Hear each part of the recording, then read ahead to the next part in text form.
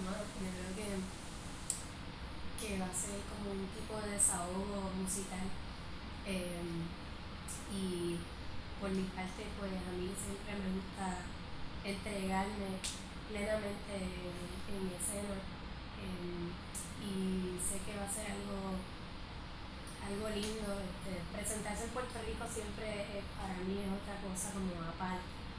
Siempre me preguntan de los públicos y yo, bueno, Puerto Rico, que es aparte en mi casa la, la energía es bien distinta.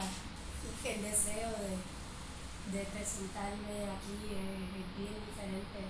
Eh, y sería un entendimiento y una familiaridad bien especial que no hay en ningún otro lugar. Así que sé que que va a ser algo bien, bien, bien energético, este, bien emocional eh, y, bien profundo. Así que mm, estoy bien ansiosa por, presentarme ya y estoy en ese proceso, pero, pero va a ser algo, eh, no sé, yo creo que, no, no, sé si esto suena guiado, pero como bien completo. Eh, yo pienso que sí.